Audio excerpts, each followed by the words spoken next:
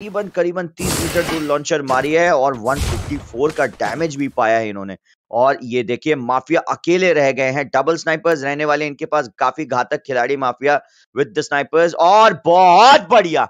के लिए जो शायद एक्स्ट्रा पॉइंट स्कोर करने की कोशिश करे बट ये क्या? माफियाज, वो वो वो वो वो वो वो वो।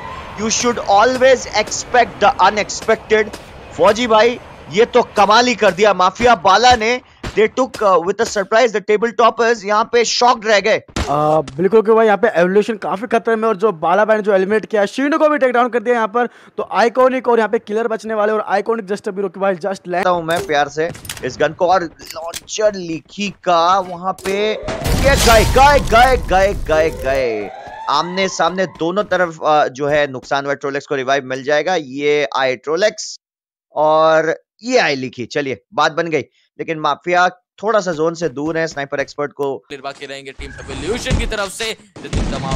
फाइट चल रही है मल्टीपल फाइट्स यहाँ पे कहने के ज़रूर से दूसरे मैच में माफिया वाला पूरी कोशिश कर रहे हैं कि कुछ नॉक्स अपनी टीम के लिए सिक्योर करें उतना ही उनके लिए मुश्किल। बंदा चला जा रहा है, वो नॉक्स निकाला पेन यानी कि लेकिन नाइनटीन आगे बढ़ते हुए नॉक निकालेंगे। थाला हो चुके हैं डाउन सामने माफिया वाला डाउन होंगे बहुत ज़्यादा लो हेल्थ में है पेन है किसी के साथ